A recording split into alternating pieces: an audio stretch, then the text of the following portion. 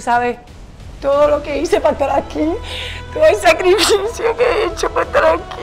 Mi mamá lo es todo para mí. Mi mamá es una madre soltera que viene de seis hijos. Yo vengo de un papá adicto a las drogas. Murió cuando yo tenía 18 años.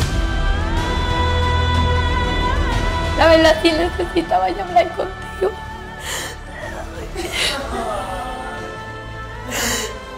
Estás donde tú quieres estar. Lo estás haciendo mega bien. Inicia oficialmente el miércoles de sentencia. Al final de la temporada, un atleta se va a llevar medio millón de dólares. Pero tienen que pasar por esto.